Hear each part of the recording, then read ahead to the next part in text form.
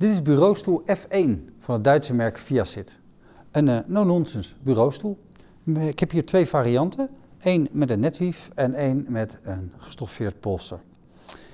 Ik neem jullie mee uh, door de stoel en de mogelijkheden. Als eerste de zitting. Lekker, comfortabele, dikke zitting. Afgewerkt met een stof van 100.000 martendeel. Dat is een stevige sluitvastheid. De hoogteinstelling vinden we hier aan de rechterzijde. Er zitten hier drie hendels op een rij. De middelste is voor de hoogteinstelling. En de binnenste is voor de zitdiepteinstelling.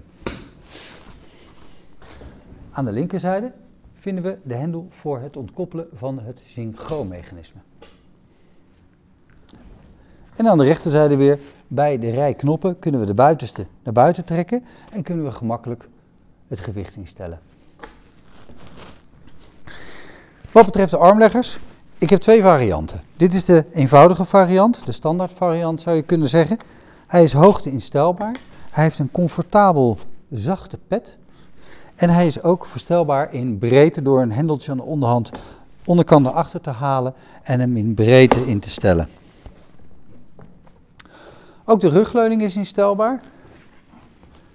Aan de achterzijde vindt zich een knop en daarmee ontkoppelt zich de rugleuning en kun je hem gemakkelijk instellen. Wat betreft de netwief variant is die standaard zonder hoogteinstelling van de rug. Echter kun je als optie een lendensteun bijbestellen, welke hoogte instelbaar is en indien gewenst ook diepte instelbaar.